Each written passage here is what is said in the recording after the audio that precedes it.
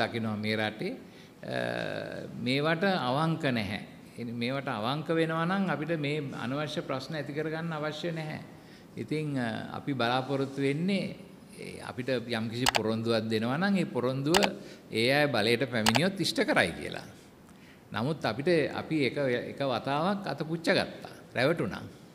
ඒ නිසා ඒක කියන්න ඕනේ. මම රැවටුණා. මම ඒක සිරස මාධ්‍යයේ අර ප්‍රශ්න 10ක් ඉදිරිපත් කර වෙලා මම ඒක පිළිගත්තා මම රැවටුණා කියලා. අනිත් එක මට දොස් කිව්වා සමහර දැන් ඔය රජයේ ඉන්න ඇමති කෙනෙක් මට හොඳටම දොස් කිව්වා මම මේ කතෝලික ඡන්ද මේ ඒ පැත්තට හරවලා දුන්නා කියලා 105ක්. මේ නරක වචනත් පාවිච්චි කරමින් මට දොස් කිව්වා.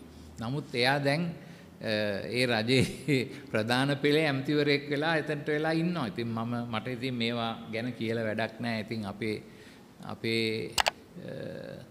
දේශපාලන නායකයන්ගේ ගතිගුණ ගැන ඇත්තටම අපි කලකිරෙනවා මේ විදියට හැසිරෙනවා.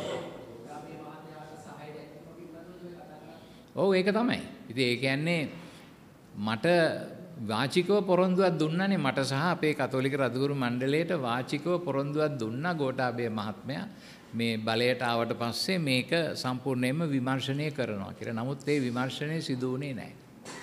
ඒක ඒක විශේෂයෙන්ම ජනාධිපති කොමිෂන් සභාව වාර්තාව බාරගත්තට පස්සේ ඒක පස්සට ගියා.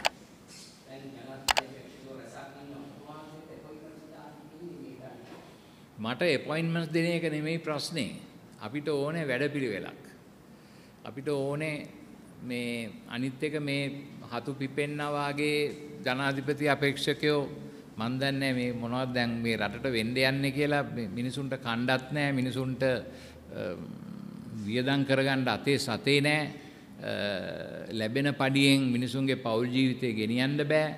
ජීවන වියදම මේ තරම් ඉහළට ඇවිල්ලා ඔය හාල් සේරු 10ක් දුන්නා කියලා එහෙම නැත්නම් තව මොන හරි මේ මොකක් හරි මේ කීයක් හරි දුන්නා කියලා ඒ මිනිස්සු එතනින් ඉවර වෙන්නේ නැහැ මොකද මේ මිනිසුන්ගේ එදිනෙදා ජීවිතයේ ලොකු වේදනාත්මක ජීවිතයක් අද අපේ රටේ ජනතාව ගත කරන්නේ. ඒක අපි පිළිගන්නට ඕනේ. විශේෂයෙන්ම දිලිඳු පන්තිය සහ මධ්‍යම පන්තිය සම්පූර්ණයෙන්ම විනාශකාරී තත්ත්වයකට පත් වෙලා තියෙන ලෝක බැංකුවේ සංඛ්‍යාලේඛන මේක ඉදිරිපත් කරනවා. ඒ වගේම ඊයේ පෙරේදත් මම දැක්ක දාලා තිනවා වාර්තාවක් මේ දිලිඳුකම ඊටමත් තදින් මේ වර්ධනය වෙලා කියලා ලංකාවේ. ඉතින් ඒක ඒකද සංවර්ධනය ඒකද ආශ්චර්යය ඒකද අපි අපේ රටේ ජනතාව ඡන්දය දීලා බලාපොරොත්තු වුණේ ඕකද කියන එක. විශේෂයෙන්ම බස්නාහිර කොළඹ වගේ තැන් විශාල අහස් අහස අහසට උස මාලිගා හදලා ගොඩනැගිලි හදලා මේකද දියුණුව. නමුත් අපේ රටේ දුප්පත් ජනතාව ගැන කැඟීමක් නැද්ද? අන්න මේවා තමයි අපිට තියෙන ප්‍රශ්න. අපේ රටේ ගොවි ජනතාවගේ තත්ත්වය මොකද්ද? අපේ රටේ දීවර ජනතාවගේ තත්ත්වය මොකද්ද? කම්කරු ජනතාවගේ තත්ත්වය මොකද්ද? රජයේ සේවකයන්ගේ තත්ත්වය මොකද්ද? මේවා බලන්නේ නැද්ද? ඉතින් මේ වගේ ප්‍රශ්න ඉදිරියේ අපිට මේ අතවනන්න බෑ. අපිට ආශිර්වාද කරන්න බෑ. අපිට ඒගොල්ලන්ගේ ඒගොල්ලන්ට මේ මේ මේ මොකද්ද අපේ දේවස්ථාන වලට ගෙනල්ලා ආශිර්වාද කරන්න බෑ. ඒක කරන්න බෑ අපිට. අපේ හෘද සාක්ෂියක් තියෙන්න ඕනේ. ඒ නිසා ඒ ඒක ඒ කට්ටිය හෘද සාක්ෂිය පාවිච්චි කරන්නට ඕනේ. Tamanට දීලා තියෙන හෘද සාක්ෂිය. ඒ අනුව මම මේ රටට මගේ ජනතාවට මම මොනවද මේ කරන්න කියලා රටේ නායකයෝ තේරුම් ගන්නට ඕනේ. ඒක ඒගොල්ලන්ගෙන් ඉල්ලන පිනක් නෙමෙයි.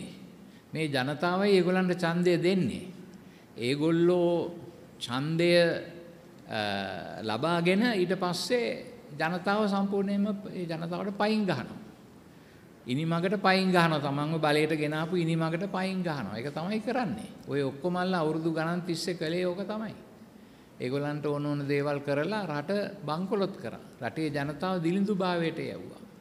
ක්‍රමක්‍රමයෙන්. දැන් අද ලෝක බැංකුවත් එක්ක මේ සාකච්ඡා යනවා. මේ IMF ඒ කියන්නේ ජාත්‍යන්තර මූල්‍ය අරමුදලත් එක්ක ඒකේ තියෙනවා සෑහෙන්න ප්‍රශ්න ප්‍රශ්නාර්ථ.